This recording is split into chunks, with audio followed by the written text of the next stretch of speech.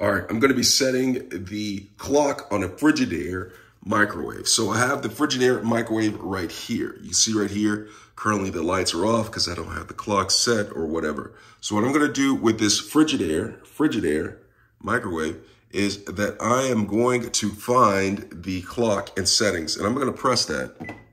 And when I press it, it enters, it, it comes on the screen right here, says enter time.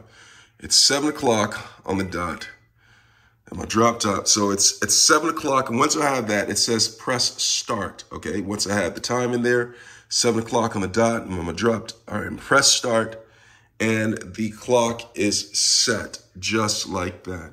And so that's how you set the clock on a Frigidaire microwave. Hope this was helpful. Thanks a lot for watching.